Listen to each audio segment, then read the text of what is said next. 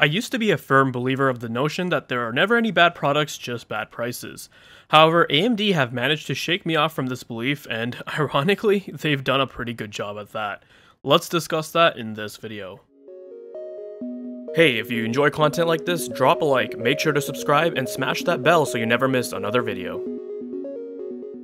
Hey, what is going on guys? Danny here, welcome back to the channel and I hope you've all been doing well. Last week, reviews for the anticipated Radeon RX 6500 XT went up online, and this GPU has sent waves amongst the GPU community, but definitely not in a good way. The general consensus for the GPU across many tech reviewers and media outlets has been pretty negative, and rightfully so. Now before we get into why this card has been so poorly received, let's just back it up a bit and see what AMD is offering with the RX 6500 XT. They announced this GPU this year at CES 2022 at an MSRP for just $199, which is what made it so highly anticipated. Users in that mainstream or budget segment, that $150 to $200 price point, have been just begging Nvidia or AMD to release a card at this price bracket, and that will finally be a worthy upgrade from their RX 570, GTX 1050 Ti, RX 480, etc. And that's what's important to remember here, as these are cards which were released anywhere from 5 or 6 years ago at this point, so they're long overdue for an upgrade. But for $199, what are you getting here? Well, the RX 6500 XT has 16 compute units, a boost clock of 2610 MHz, which is a pretty high figure compared to the other 6000 series GPUs. It's only got 4GB of GDDR6, which for a card being released in 2022 that's targeted towards gamers should be unacceptable. It doesn't matter if it's a 1080p card, this thing is going to have a really small lifespan. And it's just a shame, back in 2016 we had 8GB models of the 470 sell for cheaper than this.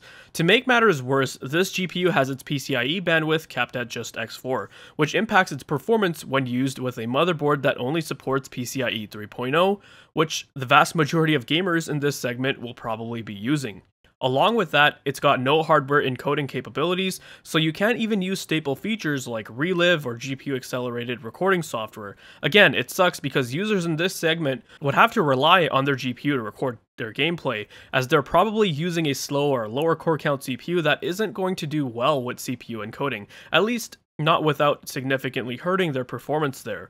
I had a buddy of mine who used to stream on Twitch on a rig with a GTX 960 and an i5 4690K, and it was mainly because Shadowplay worked so efficiently on that 960 that they were able to do so while not significantly hurting their performance, even though their CPU was just a quad core. Oh, and that GPU came out in 2015, by the way, for like $200 or something close to that. Almost all the AIB models of the 6500 XT have two ports consisting of an HDMI and DisplayPort, so a max of just two monitors can run from this thing. It also lacks AV1 decoding, a video codec that has been widely adopted at this point, so it's not even a great choice for people who might want to use this in a home theater PC application. So we haven't even touched on the benchmarks that have been posted by reviewers, and already this thing looks like a dumpster fire. Over at the Phoronix forums, where a lot of discussion surrounding Linux happens, John Bridgman, who is AMD's technical staff member responsible for Linux drivers, mentions that Navi 24 was primarily meant to be served as a GPU for laptops, but they decided to release a desktop variant as well. After all this, I'm wishing they hadn't even bothered at this point. Now as for the benchmarks, I'm sure most of you guys have already seen the disappointing performance that this GPU has to offer, where it actually loses to older generation cards like the 5500 XT, RX 590, RX 580, cards which were released anywhere from 2 to 6 years ago, and that's quite embarrassing. When it comes to performance using PCIe 3.0, there's further performance degradation as pointed out in Gamers Nexus review of the card, which is really important to keep in mind because again, do you really think the majority of gamers in this segment of the market are going to be using the latest PCIe 4.0 motherboards? Probably not. Ray tracing performance is basically a meme, so I won't even bother with that. So you have a GPU that has had half of its features stripped away, its performance is awful, and it loses to GPUs that came out like a half a decade ago, and you can't use it for streaming, it's overpriced. I'd say the outrage and the negativity surrounding the card is justified. You know, I've seen some arguments made that reviewers have been wrong about calling this GPU bad because it's a card that has finally been released for $200 in this crazy GPU market, and well, we should all be grateful because that's what gamers have wanted, and it couldn't even be more ludicrous than that. First of all, the card, like the rest of the GPUs released in this clusterfuck of a GPU market, is selling anywhere from 50 to $100 above MSRP, and that's at retailers, not even talking about scalpers. So it's really not as cheap as it's been implied. Two, gamers weren't just asking for a $200 card. They were asking for a $200 GPU that could finally be a worthy upgrade for buyers who want to remain in this segment as they have been six years ago. Guys who are finally looking to retire their old 580s, not a fucking downgrade at the same price many years later. That's what I have a problem with. Imagine if someone purchased an entry level GPU back in 2012 and then upgraded to an RX 470 for roughly about the same price in 2016, so four years later, but ended up getting the same, if not worse, performance. It would have been outrageous. I purchased an HD 7770 back in mid 2012 and upgraded to a 270X over a year later, then got an R9 390 as I upgraded my monitor and my plans changed. But if I had decided to just keep this HD 7070 and ride it out for about four years, and uh, then gotten an RX 470 four years later, I would have gotten over double the performance for roughly the same price four years later. Keep in mind the HD 7770 launched with an MSRP of 159 USD, and the RX 470 launched with an MSRP of 179. So we're talking about a $20 difference there. However, now that's not the case anymore. The 6500 XT loses to cards in the same price bracket from 5 or 6 years ago. It's a joke.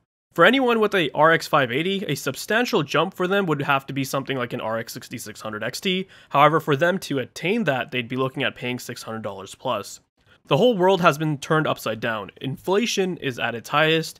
There's still a semiconductor shortage ongoing. I get it. That still doesn't justify the business decisions AMD has made for this GPU. All they had to do was bump the card's memory to 8GB, not cap its bandwidth to X4, and give it proper hardware video encoding capabilities. And they would have ended up with a decent, or I'd say an acceptable option at $200 in this current market. What's also extremely comical was that AMD had posted a blog post on their community forums back in 2020 explaining how 4GB is not enough for today's games. Yet they released a GPU in 2021 with just 4 gigabytes. But then they actually had to hide the post because, you know, they would have been laughed at after the release of the 6500 XT. But it wasn't until KitGuru had noticed this and called them out for their bullshit, where they had to put it back up, claiming it was due to some other server outage or some other nonsense. All in all, the 6500 XT is an absolute joke of a graphics card, it's an abomination, it deserves every bit of hate it's gotten, and nobody should buy it. That's my take on AMD's attempt at trying to appease the budget gaming market. If you guys found this video to be informative and entertaining, then leave a like.